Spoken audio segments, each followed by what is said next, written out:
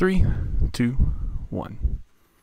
What's up, you guys? So this is a video that had been requested a while back. Obviously, the most popular video I have on this whole channel is my uh, repair of the original Xbox here, and I, uh, I mean, it's, it's pretty simple. I think a lot of people have. Didn't mean to hit the camera like that. I think a lot of people have seen it by now. If your Xbox tray is stuck, there's a little thing right there. You stick a needle in it or a paper clip or whatever and pops the tray right out. But I had had some requests for a video um, tearing the Xbox down, taking it apart and cleaning it up, and that was something that I had uh, I had looked to do for a while. So uh, we're kind of set up for that now, and I'm just going to run down real quick. I don't have a ton of things here as far as cleanup goes. Um, uh, as you can see, this one's pretty dirty. This is not the same one that we repaired the disc tray on. This is a different one. But uh, things that I have that you will need. Uh, this is a, you're not going to be able to see it, I don't think. Well, maybe you can. This is a Torx uh, T15 uh, screwdriver. You could very easily use um, a drill bit and a, a, manual or an automatic driver. Uh, that wouldn't be an issue. Um, I also have close by just in case because to be quite honest I don't remember exactly what we're gonna find on the inside but um, I, have kind of got a catch-all from Stanley for uh, basically any size bit or any size screw that we find in there that's either Phillips or flathead or apparently even a mini crowbar yeah attack puller who knew? Or if we need to punch a hole in something, there's an awl there. Um, also, for cleaning purposes, Armor All cleaning wipes, just like what you would use uh, on your car. And then when we're done, we're going to wipe it down with a protectant wipe. Now, um, they do leave a residue, and don't think that you're coming away scot-free uh, if you use them. But the protectant wipes, in my opinion, just in my opinion, but in my opinion, they do a nice job of, of keeping these consoles where all you need to do is just wipe them down uh, regularly. And uh, when you wipe them down, you know, a lot of times if I wipe them down, all I'm doing is dusting. They're not dirty like this. I'll just use one of those uh, protectant wipes and just wipe the whole thing down. Uh, it cleans it up. And uh, these things, they say uh, they preserve the car's rich look. I would say that in this case, they um, keep your console from from fading. You ever notice how the longer you have a console, the less um, crisp the look is, I guess, the less shine and more matte. Uh, it kind of prevents that. And then the other thing, you should have this anytime you're disassembling a console or a computer or anything, is uh, Ultra Duster, or this is just what Walmart had. Um, it says multi-purpose duster. It's canned air. Scared the crap out of the cat there, didn't we? Okay, so um, when you're going to do this, obviously, you can see back here, well, you can kind of see back there, there are no cords plugged into the system. Uh, that's pretty crucial. Do not have your Xbox plugged in while you're disassembling it, and you're just going to flip it over. And I thought it had all the feet on it. I was wrong. Uh, we've got one already off, but um, you could do this with like a knife or something like that. Get up under there. I just do it. I have pretty decent fingernails. So just uh, pry away these feet. Uh, you can put them back on, and on the off chance that all the residue, uh, the the sticky part has worn off, you just um, put some double-sided tape on the console and then stick the foot back on. I actually don't care one way or the other since I was already missing one, so I may not put these back on. Um, but those, when you do that, you're uncovering the uh, the screw holes, as you can see, and there's one more that's going to be hidden. So I'll show you that uh, in a few minutes. And as you can see, these are really long screws with a short thread on them. There's not a lot of threading to it. It's just a really long shaft, and that's because it goes through everything in the Xbox and connects up at the top.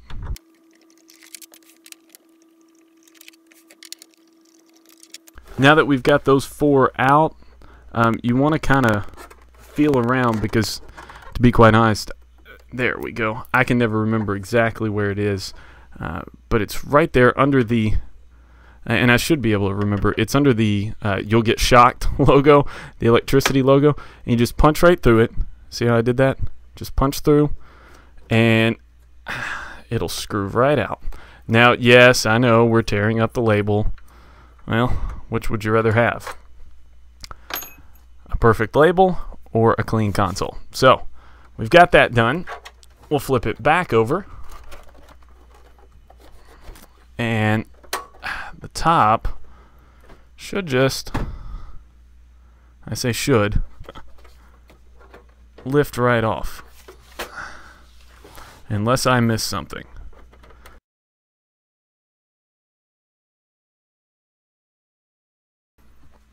I missed one. So there are six screws in total. It's always nice when you go to do something like this on the internet and you screw it up. That does explain why there was so much resistance. Alright, so here's one thing to look at when you're uh, cleaning one up. If you come in here, and this is a heat shield by the way. If you come in here and this is fairly clean, that's a good sign. You can see mine still reflects light. It's fairly clean. Um, in fact, it was fairly cool in there. You can see it fogging up because it's really humid in my space down here. Now, down inside, we got a little bit of dust. That's not necessarily unexpected. So, next, you can see there's a ribbon cable right here. You're going to pull that loose and get it up out of the way, and you can kind of see down in the box a little better. Now, flip this up. Now, I'm not going to take this whole thing apart because I don't have a T10 Torx uh, head with me right now. But if you were doing that, there's a screw right here, a T10, and there is a uh, another screw. Um, it's either a T10 or a T15 down in here, and on this corner right here. Now, each of those have to come out before you can remove the optical drive. I'll move this back over here. Uh, once you take those out, you can remove the optical drive and uh, the disc, the tray for the hard drive here. You can't do that without uh, taking this one out and the two. There's one right there. Oh, I'm sorry. It's on the front corner. It's right down in there, and one right there. You can see that.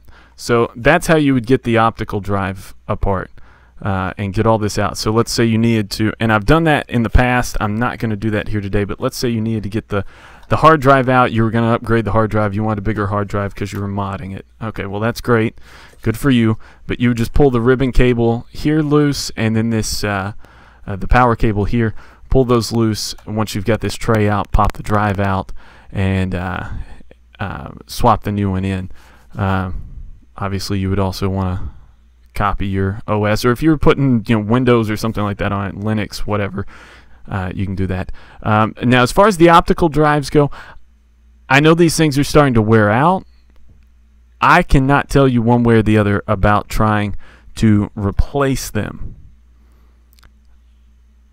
From my understanding, which is somewhat limited, but from my understanding of these systems, Microsoft basically took a mid-grade gaming computer for what was it 2000 and stuffed it inside of this now you can see down in here behind the um, the cables I mean just a motherboard down in there um, I would not begin to tell you though what kind of optical drive to stick in it now what I am going to do and I know this is kind of a lame teardown, but I just am not in the mood to, to go through all of this. But you can kind of see how it's done. So six screws on the outside, and then uh, and then the handful here to take it um, take this tray. Th there's actually you can see all this black plastic around the hard drive. Um, that's a tray that this is set in. So that comes out, and the optical drive come out, and that's how you get to the uh, uh, the motherboard down there. But uh, the gist of it is exposed at this and you can kind of see what we're doing. So uh, what I would do next, whether I'm tearing it all the way out or I'm just doing what I've done here, I the cat really does not like this. She's backing off the table. Um, I would just come in here and blow all this garbage out. And you can see some of it flying out of here. My big focus is what you saw there. Lord knows what that's going to sound like. But I want to get the um, cooling fan, uh, make sure it's good and blown off. And then the ports, the um, ports on the back and the sides where uh, where it's going to draw the air in. So you kind of get the idea. you can tell I'm holding it at an angle. I kind of knew going in that I wasn't dealing with too dirty of a system, so I wasn't overly worried. Um, what I was worried about is the outside, and I'm going to show you what I do with that next. So we'll set the guts off to the side. And we'll pull this lid over here. Now this lid, you can see it's pretty dirty. So we'll get some of these wipes. And, you know, in the case of uh, these slots on the side, these slots are the, uh, the grooves here are the worst part of trying to deal with an original Xbox. But if you kind of blow over them, you can blow some of that out. Now, it's not coming out of this one, but you get the gist. And in the case of this one, because of how dirty it is down in those grooves, um, I can tell you what I might do is, and, and you would want to do this if you go to a flea market or something like that, and you get a really dirty console. Uh, the plastic parts and that includes the base over there. You can disassemble this console, and all you got to do, take the screws out and just pay attention. Do like I'm doing, film it, or uh, or take photos as you go. But take the rest of the screws out and disassemble it so that you've got the base separate from the guts. And any of this plastic, as long as you let it dry first, you can soak this thing in soapy water or uh, bleach or whatever you want to put it in.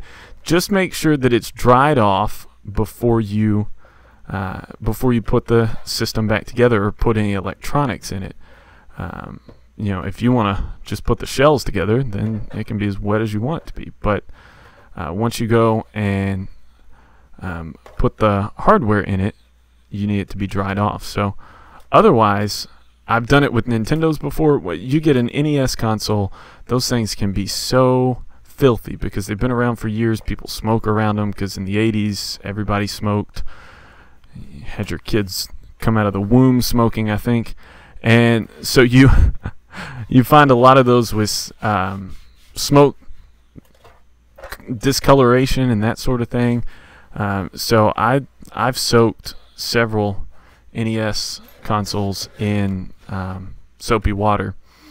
Now you can see most of this is coming off. I'm, I'm not going to be able, I don't think, to get in this small groove down in between the uh, X there. But most of this is uh, is coming off pretty easy.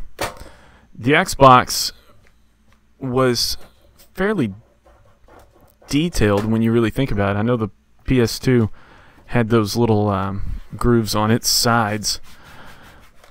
They use those to hide the grill. You, can see right there. You can see through that part.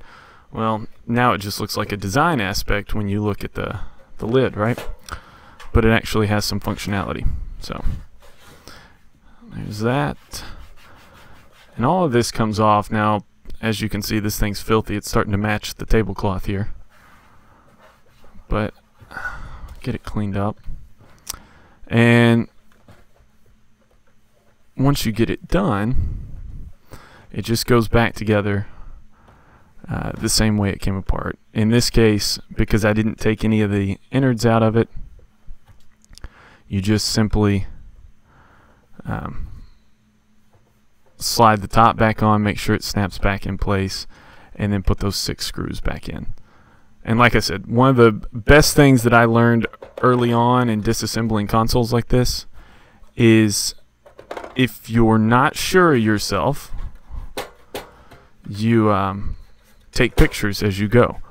And don't be worried about eating up cell phone memory or camera memory.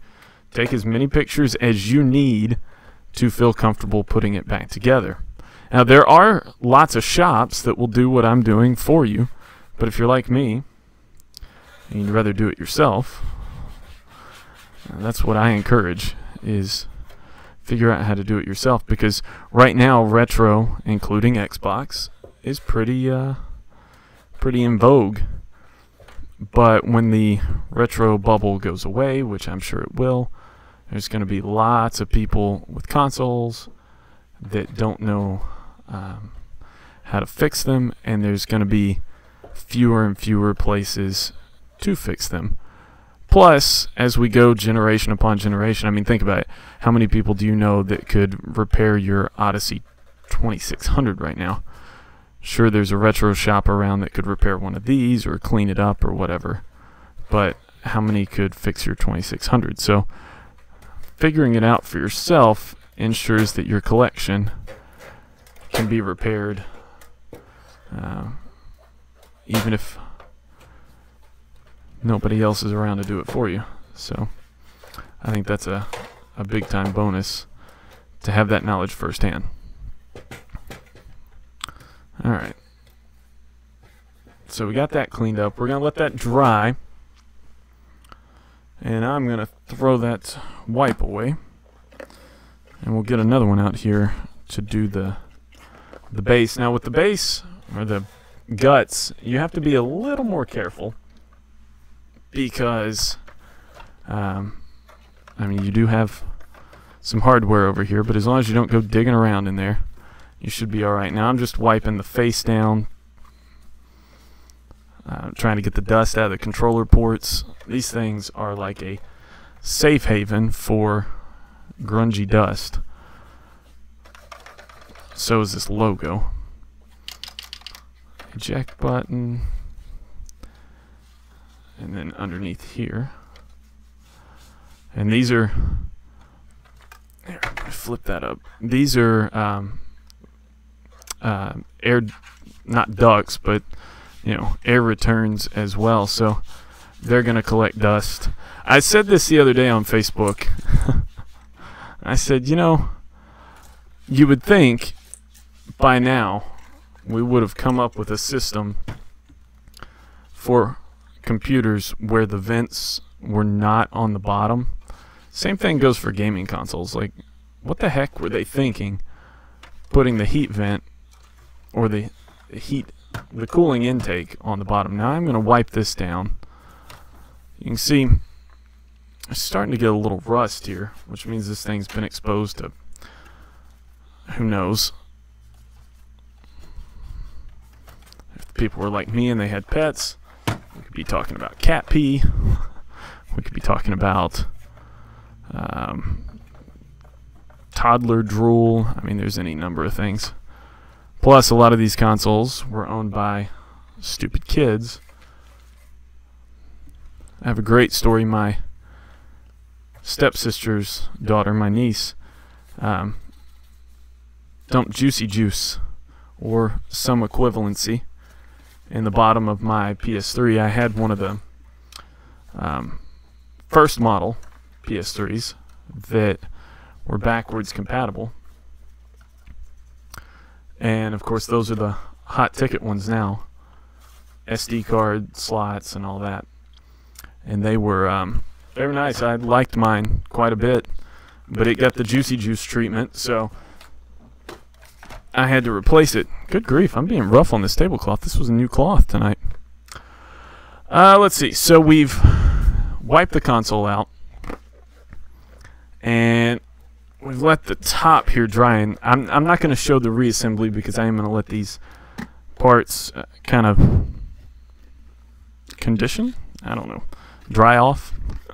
And you can see this one's still a little damp. But I'm getting the protectant wipe and we're just gonna give this a good rub down and again it's difficult to get into some of these little grooves and nooks and crannies but it really does help um, you can treat this kind of like you would a Super Nintendo uh, where you take and, and wrap a credit card around the cloth and put it down in the slots. You can do that, run it down in these grooves.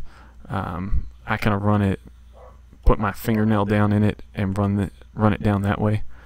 Um, just kind of groove it up against there. Make sure you get any excess uh, liquid out because these things do have a good amount of liquid in them.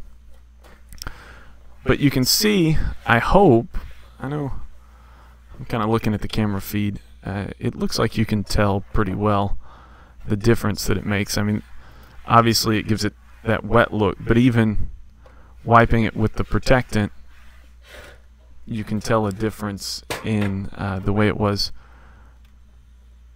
before when it was just kind of damp versus now. Also, there may be a day that I pop this gem off. There's a pretty cool mod you can do if you're familiar with console modding at all.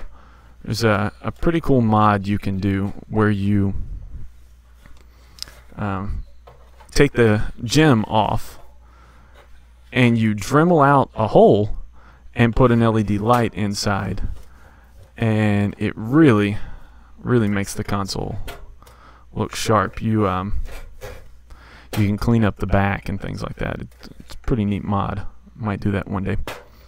Alright, so um, I've kind of mopped this top off, and you can see there's uh, there's some of the protectant down in there, and I'll go back and clean that off with a old t-shirt or a paper towel or something. But uh, for the most part, this is pretty much what I would do if I were cleaning an old console up. Now, uh, again, if I was really worried about the condition of that Xbox, if it had been really dirty in my mind on the inside, I would have done a little bit more to kind of cleanse it.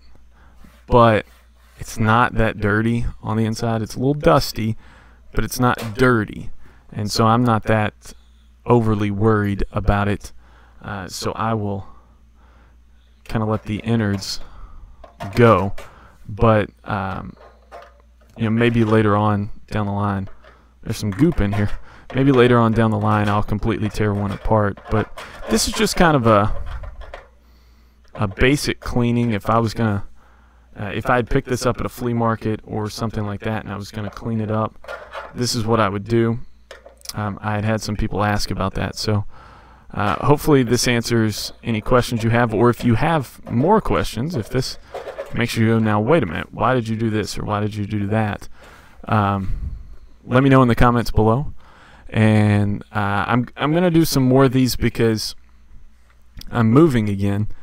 And a, a lot of my consoles have just been in storage for the last, I don't know, year, two years.